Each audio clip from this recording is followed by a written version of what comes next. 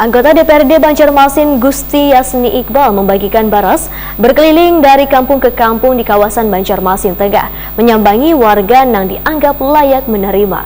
Seakan kada peduli dengan teriknya sinar matahari, ratusan bungkus beras pun terus dibagikan. Berbagi beras untuk warga ini kada hanya dilakukan di bulan suci Ramadan, namun dilakukan pula di bulan-bulan lainnya.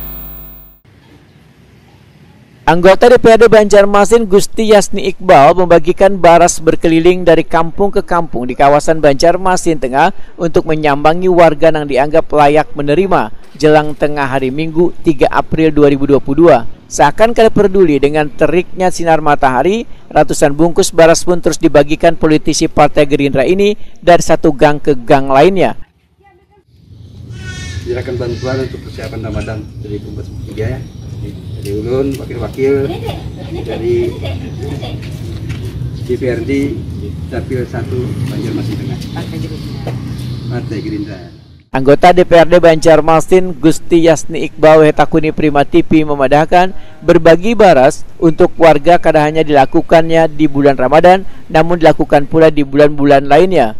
Membantu warga yang kurang mampu ini ujar Gusti Yasni Iqbal adalah untuk meringankan mereka di tengah sulitnya perekonomian di masa pandemi COVID-19 ini.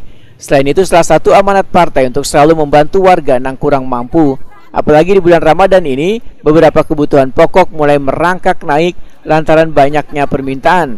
Sehingga bantuan baras ini ujar Gusti Yasni Iqbal dapat sedikit meringankan warga dalam menjalankan ibadah puasa di bulan Ramadan ini bersama ini mencerahkan 100 paket eh, untuk persiapan Ramadan 1443 Hijrah dari ulun anggota Dewan Perwakilan Rakyat Kota Banjarmasin, Dapil Pemilihan Banjarmasin Tengah. Terima kasih ulun terima amanah pian untuk membagikan kepada warga kelurahan Seberang